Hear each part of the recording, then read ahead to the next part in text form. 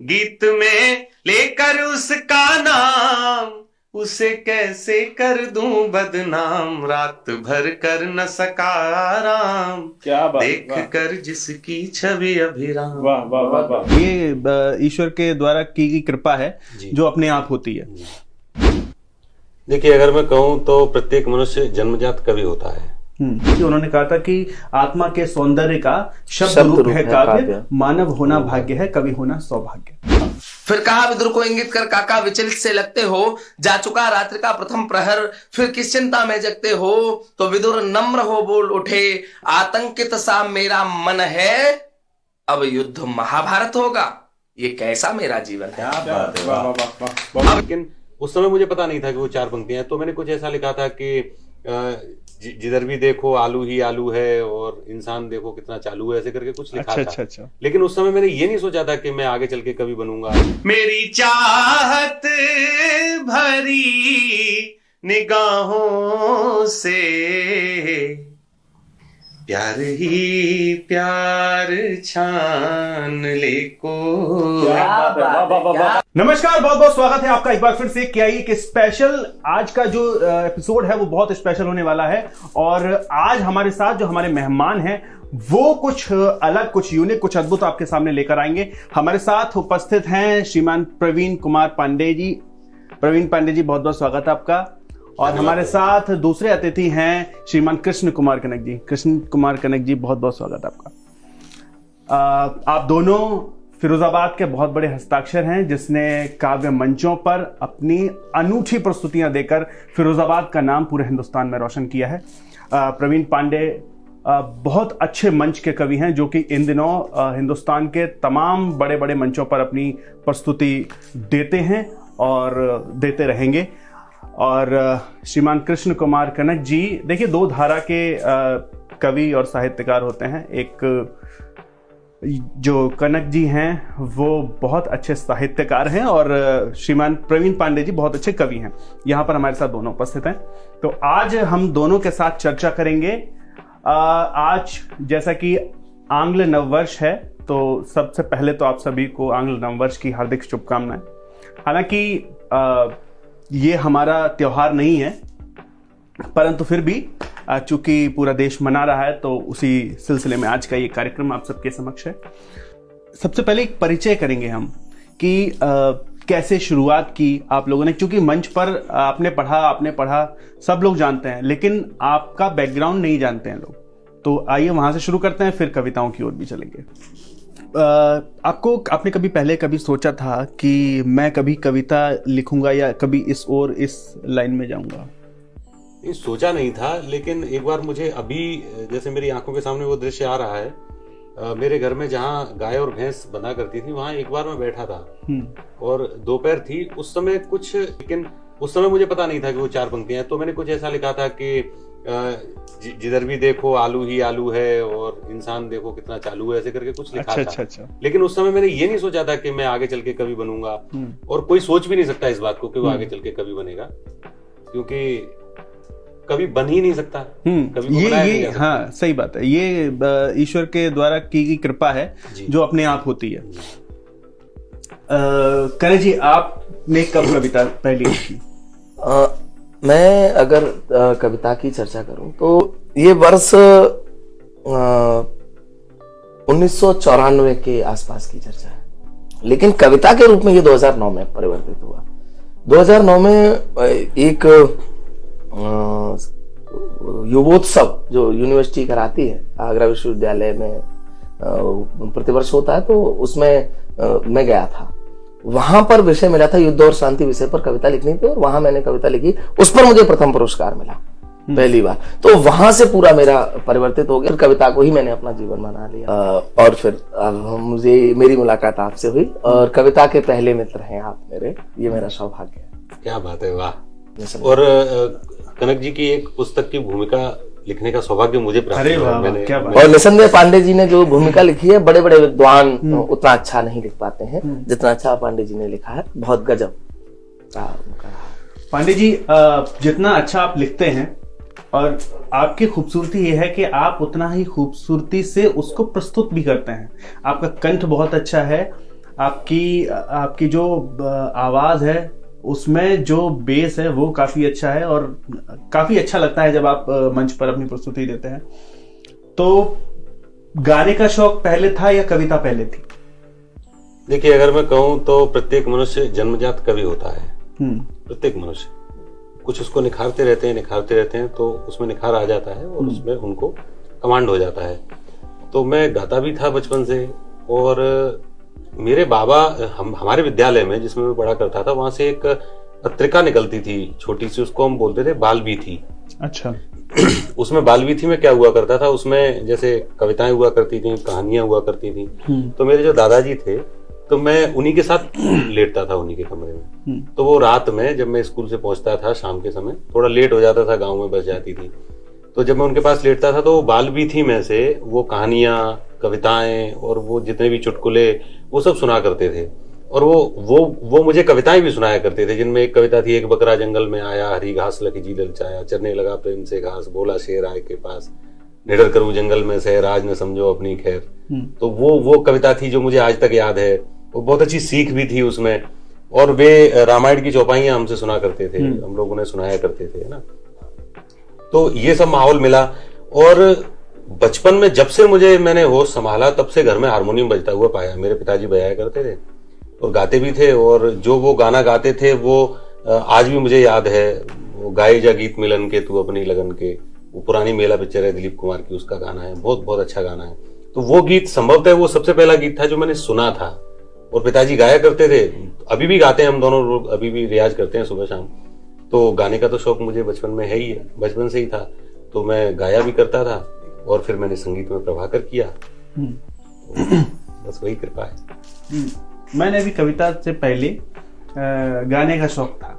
तो जो text book होती थी हमारी हिंदी की तो उसमें जो कविताएँ आती थी जो गीत आते थे उसमें वो थी एक वो झांसी की रानी की कविता थी। तो मतलब हमारे यहाँ के क्या होता था जब खूब लड़ी मर्दानी स्कूल में हम पढ़ते थे ना तो उसमें शनिवार को एक कार्यक्रम विशेष तौर पे हुआ था। बाल सभा। हर हाँ, हर शनिवार को वो एक कार्यक्रम होता था बाल सभा का। तो उसमें हम वो कविताएँ गाते थे।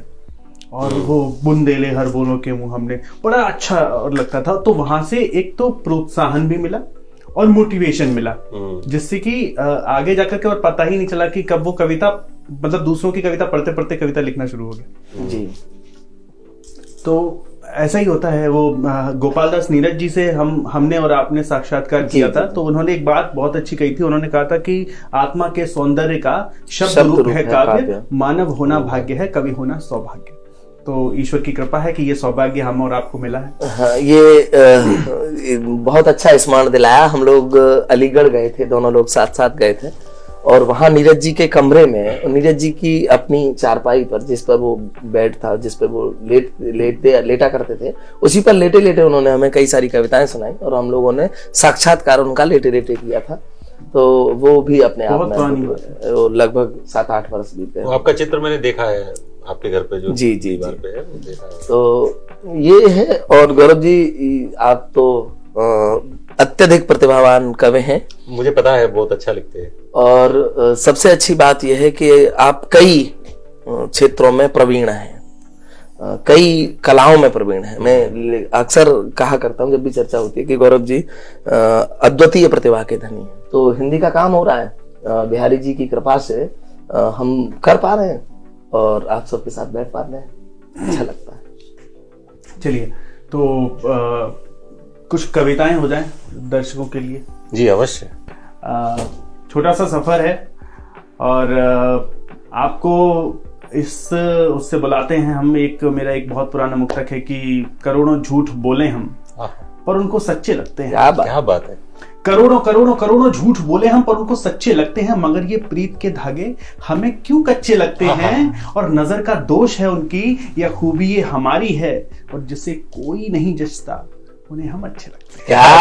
है कोई नहीं जचता उन्हें हम अच्छे लगते हैं। तो आइए प्रवीण कुमार पांडे जी को आ, स्वागत आपका और अभिनंदन। आप आए और अपना कविता पाठ करें। बहुत बहुत धन्यवाद गौरव जी। और आप सभी दर्शकों को अंग्रेज़ी नववर्ष की शुभकामनाएँ। चलिए मैं प्रारंभ करता हूँ। आप चार पंक्तियाँ यूँ सुनिएगा कि चाहता हूँ कि जान ले कोई। चाहता हूँ कि जान ले कोई। जान चाहे कि जान ले कोई। क्या बात चाहता हूँ कि जान ले कोई। जान चाहे कि जान ले कोई। शीश कब से झुकाए बैठा हूँ। शीश कब से झुकाए बैठा हूँ? प्यार का इम्तिहान ले क्या बात है बहुत बढ़िया बहुत बढ़िया। प्यार का इम्तिहान ले कोई लाजवाब। चार पंक्तियाँ और सुनिएगा। चैन का आसमान ले कोई। दर्द का पूर्ण दान ले कोई। वाह। चैन का आसमान ले कोई। दर्द का पूर्ण दान ले कोई। मेरी चाहत भरी निगाहों से। मेरी चाहत भरी निगाहों से। प्यार ही प्यार छान ले को है, है है बहुत बढ़िया, बहुत बढ़िया। वाह वाह प्यार ही प्यार छान ले को वाह वाह। हम्म, एक ऊँची उड़ान ले कोई। बहुत सुंदर। सुनेगा ये मुझे बहुत पसंद है। एक ऊँची उड़ान ले वाह शांत सागर उफान ले कोई एक ऊँची उड़ान ले कोई हम्म, शांत सागर उफान ले कोई साथ जीने को उम्र छोटी है। हम्म, साथ जीने को उम्र छोटी है। वाह साथ मरने की ठान बहुत बढ़िया। वाह। साथ मरने की ठान ले कोई। और मैं चाहता हूँ एक गीत मैं आप सभी के समक्ष रखूँ। स्वागत स्वागत। गीत सुनेगा देख कर जिसकी छवि अभिराम हम्म, रात भर कर न सका राम क्या बात। देख कर जिसकी छवि अभिराम रात भर कर न सका राम गीत में लेकर उसका नाम गीत में लेकर उसका नाम उसे कैसे कर दूँ बदनाम? रात भर कर न सका राम क्या बात देख वाह। कर जिसकी छवि अभिराम। वाह वाह वाह वाह। बंद सुनेगा कि जिसके नैन चपल चित चोर जुल्फ जो सगन घटा घन घोर। अधर हैं जैसे चंचल मोर शोर करते हो चारों। वाह। वाह वाह वाह। कि जिसके नैन चपल चित चोर जुल्फ जो सघन घटा घन घोर। अधर हैं जैसे चंचल मोर शोर करते हो चारों। घनेरी पलकों पर जिसकी घनेरी पलकों पर जिसकी शरद की सुबह बसंती शाम रात भर कर न सका आराम देख कर जिसकी छवि अभिराम। सलिल सरिता से बहते भाव हृदय को छू लेने का चाव मधुर सुस्मृतियों का अनुभाव सहेजे है उर्मे सौघाव हम्म, क्या बात। सलिल सरिता से बहते भाव हृदय को छू लेने का चाव मधुर सुस्मृतियों का अनुभव सहेजे है उर्मे सौ घाव अभावों में रहकर जिसने आहा, अभावों में रहकर जिसने लिया है वक्त स्वयं ही थाम रात भर कर न सका आराम देख कर जिसकी छवि अभिराम। गीत में लेकर उसका नाम उसे कैसे कर दूँ बदनाम? रात भर कर न सका आराम हम्म, देख कर जिसकी छवि अभिराम। क्या बात। अगला बन जी। लताओं में गुंजित मधुमास हम्म, जगाए मधुर मिलन की आस। वाह। लताओं में गुंजित मधुमास जगाए मधुर मिलन की प्यास सहज नम श्वासों का एहसास भर रहा है मन में विश्वास। हम्म, लताओं में गुंजित मधुमास जगाए मधुर मिलन की प्यास सहज नम श्वासों का एहसास भर रहा है मन में विश्वास। आस है बाहों में उसकी। आस है बाहों में उसकी। मिलेंगे मुझको चारों धाम आहा। रात भर कर न सका आराम देख कर जिसकी छवि अभिराम। गीत में लेकर उसका नाम। उसे कैसे कर दूँ बदनाम? रात भर कर न सका आराम देख कर जिसकी छवि अभिराम। हम्म, चंद्रमुख जैसे पूनम रात। वाह। चंद्रमुख जैसे पूनम रात सुलगते से मेरे जज्बात आहा, चंद्रमुख जैसे पूनम रात सुलगते से मेरे जज्बात बने फिर कुछ ऐसे हालात न रह पाया मुझको कुछ ज्ञात। चंद्रमुख जैसे पूनम रात सुलगते से मेरे जज्बात बने फिर कुछ ऐसे हालात न रह पाया मुझको कुछ ज्ञात। दृष्टि से छूकर उसकी देह दृष्टि से छूकर उसकी देह हो गया मन मेरा घन श्याम। रात भर कर न सका। आराम देख कर जिसकी छवि अभिराम। गीत में लेकर उसका नाम उसे कैसे कर दूँ बदनाम? रात भर कर न सका आराम। देख कर जिसकी छवि अभिराम। क्या बात है वाह वाह वाह वाह बहुत शुक्रिया प्रवीण जी बहुत अच्छा लगा आपने बहुत अच्छा काव्य पाठ किया। श्रोताओं को भी बहुत आनंद आया होगा। बहुत बढ़िया। चलिए तो करण जी आप गीत लिखते हैं अच्छा लिखते हैं। और आपने कई सारी पुस्तकें भी लिखी हैं जिसमें कई पुस्तकें आपकी गीत की भी हैं। जी।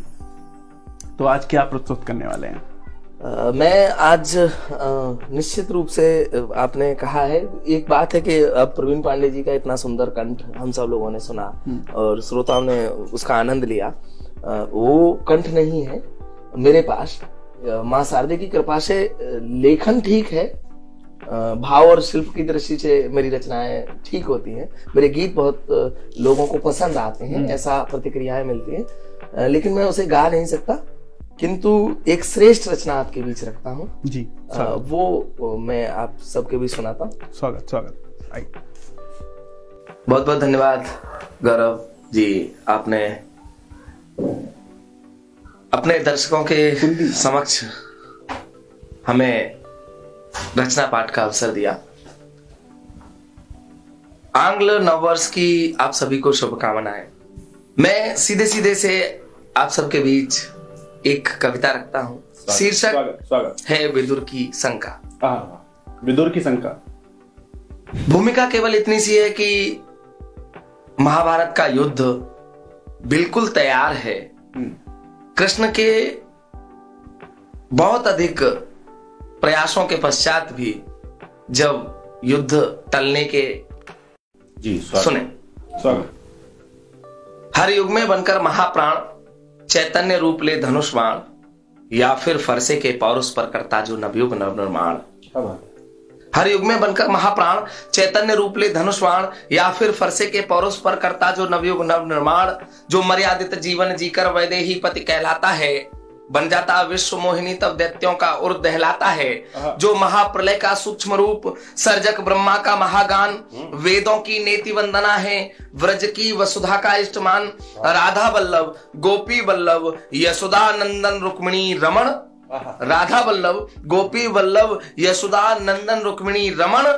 तब दुर्योधन के घर पहुँचे तैयार हो चुका था जबरण क्या बात है तब तब दुर्योधन के घर पहुँचे तैयार हो चुका था जब रण तिल भर भी भूमि समर्पण को राज़ी न हुआ जब दुर्योधन। तिल भर भी भूमि समर्पण को राज़ी न हुआ जब दुर्योधन। आगे की रण विभीषिका से कुंठित था शांति दूत का मन। लौटते हुए केशव पहुँचे विदुरानी काकी के घर पर। जलपान लिया कुछ स्वल्प हार केले के छिलकों पर रहकर। फिर कहा विदुर को इंगित कर। फिर कहा विदुर को इंगित कर काका विचलित से लगते हो। जा चुका रात्रि का प्रथम प्रहर। फिर किस चिंता में जगते हो? फिर कहा विदुर को इंगित कर काका विचलित से लगते हो? जा चुका रात्रि का प्रथम प्रहर फिर किस चिंता में जगते हो? तो विदुर नम्र हो बोल उठे आतंकित सा मेरा मन है। अब युद्ध महाभारत होगा। ये कैसा मेरा जीवन है? अब युद्ध महाभारत होगा। ये कैसा मेरा जीवन है? जिनको पाला था गोदी में, उंगली दे साथ चलाया था। जिनको पाला था गोदी में, उंगली दे साथ चलाया था। छोटी छोटी सी मांग हेतु सारा आकाश गिनाया था। अब वही नयन नभ के तारे अपना अस्तित्व मिटा देंगे। अब वही नयन नभ के तारे अपना अस्तित्व मिटा देंगे। इस अवन और अंबर तल को मेघों की नई छटा देंगे। उस समय मरण मेरा होगा, उस समय मरण मेरा होगा, जिस समय प्रलय आ जाएगी। भाई भाई के सोनित से कटार जब प्यास बुझाएगी। वाह वाह। क्या बात है। भाई भाई के सोनित से कटार जब प्यास बुझाएगी कहते कहते रुक गए विदुर। आकंठ करुण सागर जल में होकर सचेत केशव तत्क्षण दुख भाप गए कुछ ही पल में। फिर कहा विदुर को हे काका मत करो क्लेश मन में इतना। फिर कहा विदुर को हे काका मत करो क्लेश मन में इतना। बस उतना ही जीवन होगा। लिख दिया विधाता ने जितना क्या क्या बात है वाह वाह वाह क्या वाह सब- बहुत बस बस बस उतना ही जीवन होगा लिख दिया विधाता ने जितना। उस परम सत्य की सत्ता का सारा जगतो निमित्त भर है। उस परम सत्य की सत्ता का सारा जगतो निमित्त भर है। हम सब तो उसके चाकर हैं। हम सबका स्वामी ईश्वर है। वह जिससे जितना बोलेगा वह जिससे जितना बोलेगा उसको उतना करना होगा। वह जिस पल मौत भेज देगा उस पल सबको मरना होगा। क्या बात वाह, वाह, वाह। वह वह जिस पल मौत भेज देगा उस पल सबको मरना होगा। यश अपयश हानि लाभ जीवन मरना तय करने वाला वो। यश अपयश हानि लाभ जीवन मरना तय करने वाला वो निज कर्म हमारे हाथों में फल निर्णय करने वाला वो। क्या बात निज कर्म हमारे हाथों में फल निर्णय करने वाला वो उसकी इच्छा के बिना यहाँ पत्ते की क्या औकात हिलेगा क्या बात है? उसकी इच्छा के बिना यहाँ पत्ते की क्या औकात हिले? अंधे के घर रोशनी सदा आँखों को दिन में रात मिले। बहुत बढ़िया क्या बात अंधे के घर रोशनी सदा अंधे के घर रोशनी सदा आँखों को दिन में रात मिले तो मत करो अधिक चिंता चिंतन। हम्म। सब छोड़ो जग के स्वामी पर। मत करो अधिक चिंता चिंतन सब छोड़ो जग के स्वामी पर। मत हर्ष करो बीते कल पर मत शोक करो आगामी पर। और कृष्ण समझाते हुए अंतिम पंक्तियों में कहते हैं विदुर जी से कि मत करो अधिक चिंता चिंतन सब छोड़ो जग के स्वामी पर। मत हर्ष करो बीते कल पर मत शोक करो आगामी पर। जो भी हो अच्छा ही हो उस ईश्वर से कामना करो। हम्म? जो भी हो अच्छा ही हो उस ईश्वर से कामना करो। ये जीवन भी तो रण ही है इस रण का तुम सामना करो। क्या बात ये है। जीवन भी तो रण ही है ये जीवन भी तो रण ही है इस रण का वाह, तुम सामना वाह, करो। वाह। बहुत बहुत वाह क्या बात। बहुत बढ़िया। वाह। बहुत बढ़िया कनक जी। तो भाई, ये थे, आपने सुना प्रवीण पांडे को सुना कृष्ण कुमार कनक को सुना। आपको आशा है ये एपिसोड पसंद आया होगा और इसमें बहुत कुछ आपको सीखने और जानने को भी मिला होगा। तो इस वीडियो को शेयर करके दूसरे लोगों तक प्रवीण पांडे की आवाज़ और कृष्ण कुमार की गीत ज़रूर पहुंचाइएगा। हमारे साथ जुड़े रहने के लिए आप सभी का प्रेम पूर्वक बहुत बहुत धन्यवाद धन्यवाद कनक जी, धन्यवाद।